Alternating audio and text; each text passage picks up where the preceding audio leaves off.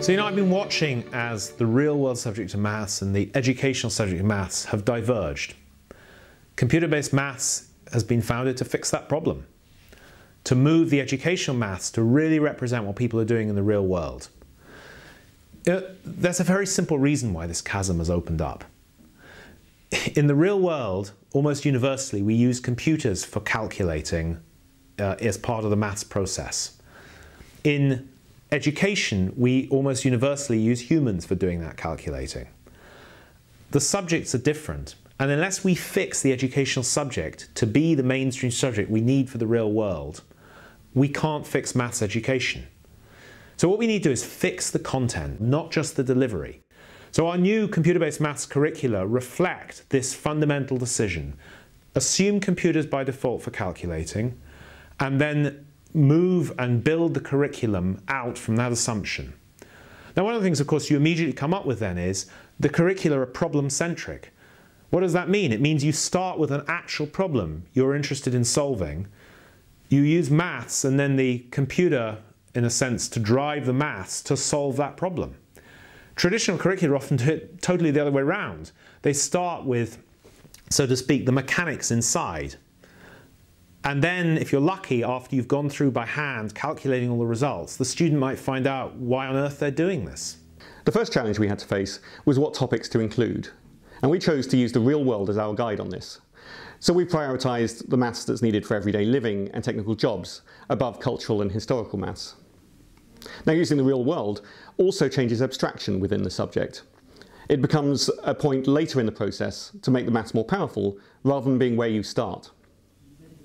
Another key decision, following the real world, was to use computers by default. And so we use them for all computation, unless either hand calculating is the most practical way of doing that particular kind of computation, or the process of doing hand computation is conceptually empowering.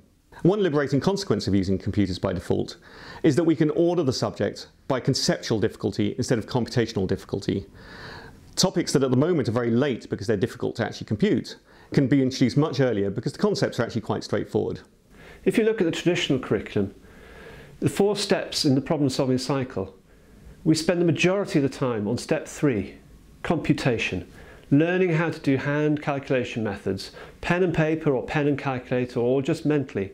We spend a huge amount of time and very rarely do we do anything else about the problem solving cycle other than compute. If you look at the balance in the new CBM solution helix of math, we give equal weighting to all the steps. It's all important.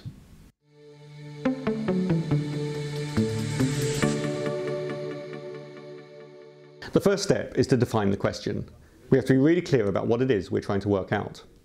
And part of that is to think through what do we know and what don't we know, and importantly, what assumptions are we going to be making. One aspect of this is there's often more than one way to work out a problem, and particularly things like the assumptions are quite subjective.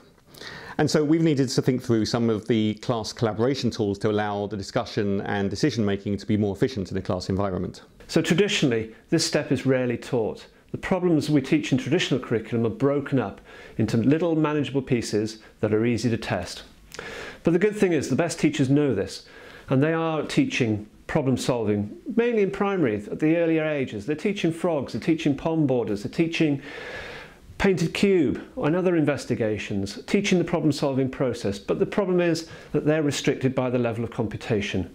They cannot do the, the real world complex mathematics because of the restrictions of the hand calculating curriculum.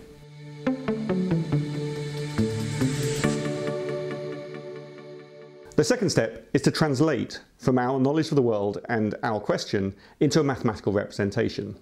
So that could be simply a very clear mathematical statement, such as I want to do a hypothesis test of our data against a uniform discrete distribution. Or it might be developing a model or a formula. But in more complex cases, it's going to be to develop an algorithm and then write a computer program to execute that automatically. So in the real world, abstraction is how we solve large and small scale problems by defining the variables, realizing their limits, finding tools, having an expectation of the result and confidence in the results. In the traditional curriculum, this is rarely done. The problems are ready made by the teacher or by the examiner or by the textbook. There is some attempt to start converting into maths in some of the examples, but the context is so trivial, there's no relation to the real world.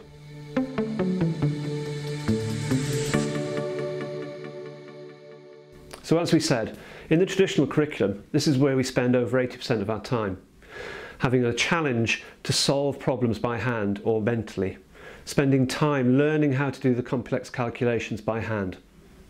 In the real world, you have to be able to estimate in your head and do simple calculations on paper. But the rest of the time, the vast majority of the time, all the calculations are done on a computer.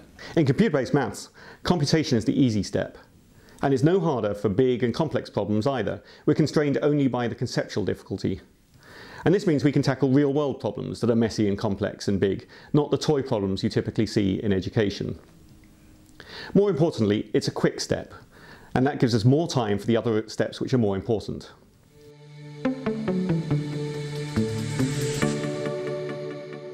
The last step in our process is to interpret the results, to translate from our computed math answer into a real world answer. What does the answer mean? What decisions can I make off the basis of it? Now a key part of that is to critique our answer, to ask ourselves do we believe it? Can we quantify how accurate it is? And it might be the result of critiquing is to iterate, to go another lap around the solution helix of maths by asking new questions. In the real world, the output is interpreted in the context of the problem. The reliability of the results are assessed. The results are formally reported. And also, other people have to interpret your results. But in the traditional curriculum at the moment, we stop after the calculation and get, once we've got an answer and it's checked either by the teacher or the back of the book, that's the end. There isn't any interpretation. There isn't a context, so it's impossible to do the interpretation. The key thing here is to rethink the curriculum for the modern age, we can't do that in isolation without also thinking about the deployment of that curriculum. Now, of course, there's more than one way to do that. Our initial deployment is for class-based with teacher guidance. The students come into the room and they sit down at their own computer where they have all of the tools for exploration that they need and a programming language to develop their own ideas. We've also set up collaboration tools for them to share data and ideas with each other and also to feed that back to the teacher. So as with any curriculum change, the key to this will be the teachers. They're going to be the ones implement it in the classroom day to day. So they need some training on how to do this and they also need everything they require easily accessible in one place. They don't want to be shuffling papers or planning lessons using textbooks, using online materials, using clickers to get the voting done. They want everything in one place. So what we've designed is a system to do this. We've got everything in one place. We've got the lesson materials, the lesson plans, everything they need, everything the students will see, and the formative assessment instantly available on the screen at the same time. So we can do peer assessment, we can do collaboration, we can take the best of collaborative practice that's currently going on and we can use it in the CBM classroom. So we can do think, pair, share, we can do round table, we can do a new modality called manipulate to discover. So we use this in a range of situations, either from simulating data or experiments, or from changing parameters to see their effect on the underlying problem.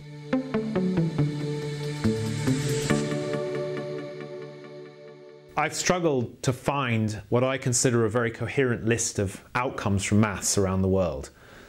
You'd think this was pretty well established in the sense that you know we spend billions of dollars around the world teaching maths in almost every country, so you'd think it would be obvious what outcomes we're looking for. Well, all I can say is we've had trouble finding that list, and so we decided to build our own, and it's pretty complex. It's a 10-dimensional list. And it really covers a wide range of, of what we think is important. Confidence to tackle new problems, for example. You know, it's crucial that when you're given a new piece of maths or a new problem, you really know how to push through that, and that's an important outcome. Another thing that's really surprising to me is in so many of the outcomes lists I've seen, the idea of the maths concept and the actual tool of maths are not very separated. So for example, many people learn quadratic equations at school. The thing that perplexes me is why the concept of an equation isn't separated much more from the detailed way you might happen to solve a quadratic or a cubic or a quintic for that matter. So we need to separate the, the idea of equations from the detailed tools to do with how you would handle a quadratic equation or indeed leave that to a computer.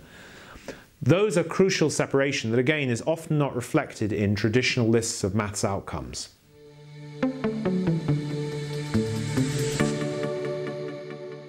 You know, I think it'll take 25 years, but we need to fundamentally change maths education to the right subject all the way around the world.